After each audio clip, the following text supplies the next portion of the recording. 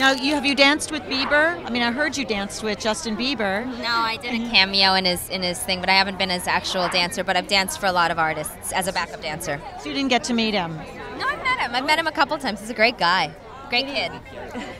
Did he give you any advice, or did you give him any? No, but I, I was in the room while he was blow drying his hair, and I, I mean, it really showed me how to really blow dry your hair the right way to get it just that perfect swoop.